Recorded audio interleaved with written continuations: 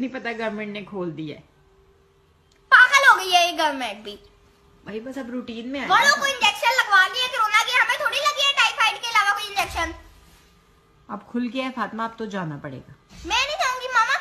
Class में हर बच्चा कभी किसी का लंच ले रहा है कभी किसी का स्केल कभी किसी का वो कभी किसी का कुछ। अगर किसी बच्चे को कोरोना और मैं उसका टिश्यू उठा लूँ तो?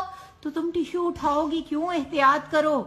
स्कूल जाने पे तुम्हें एतराज़ है और जो कल कह रही थी पापा साल बाद सिनेमा खुले हैं सिनेमा जाना है? मामा जी सिनेमा अपने पेरेंट्स के साथ जाते हैं। स्कूल अपने पेरेंट्स के साथ थोड़ी जाते हैं कभी भी कोई किसी की मैं चीज़ उठा लूँ मुझे कोरोना हो जाए। फातिमा अब स्कूल तो जाना पड़ेगा बेटा। आप लोगों के टेस्ट सेशन भी शुरू होने वाले हैं। फाइनल एग्ज़ाम्स भी अब स्कूल जाके होंगे। मम्मा यार अच्छा ऑनलाइन चल रहा था यार। पेपर भी ऑनलाइन थे पेपर पेपर में मैं गूगल ही इस्तेमाल करती थी अब उधर जाके क्या करूँगी मैं तो लिखना पढ़ना भूल गया है इसीलिए तो कह रही हूँ कि स्कूल जाना शुरू करो तुम्हें कुछ लिखना पढ़ना आए। पता चले फेल होके बैठी हुई हो। मम्मा जी अभी क्या खोलने की ज़रूरत है? हर बच्चे के दिल से आम निकलेगी सारे बदुआएँ देंगे नहीं बदुआओं की ज़रूरत नहीं है। स्कूल जाए अपनी रूटीन में आए। बेटा आपका तो इतना स्कूल में दिल लगता था अब क्या हो गया आपको? मम्मा जी ये जो हमारे खोल देते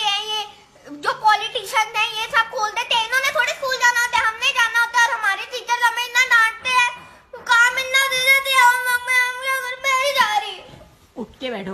यूनिफॉर्म रख दी है मैंने बाहर से यूनिफॉर्म पहनो। उठ के बैठो। फातिमा उठ के बैठो एक्टिंग मत करो भाई को भी मैं बेहोश हो गई हूँ।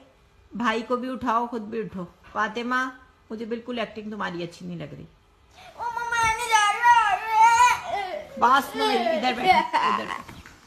नहीं ना मम्मा जी अल्लाह का बात अच्छा जाऊँगी प्रॉमिस प्रॉमिस कल पिंकी प्रॉमिस कल चली जाऊँगी प्लीज़ कल और आज में क्या फ़र्क है बेटे? मम्मा जी कल नया टेस्ट है ना एसएसटी का टेस्ट है नहीं पता था ना तुम्हें कि स्कूल खुल गए पता था ना फिर भी मुझे मम्मा जी मेरी तबीयत खराब हो रही है जुकाम हो रही है खांसी हो रही है सर में दर्द हो रहा है चक्कर आ रहे हैं कोरोना हो रहा है सांस में तकलीफ़ हो रही है।